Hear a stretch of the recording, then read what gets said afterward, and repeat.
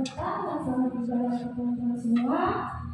Pada Tuhan, kita bisa melewati sepanjang minggu ini, itu semua karena kasih setia Tuhan. Saya mengajak teman-teman semua untuk berdiri, kita akan memuji dan memuliakan nama Tuhan pada malam hari ini. Kita akan mengangkat pujian yang mengatakan bahwa segala puji dan syukur kita hanya kita berikan pada Yesus.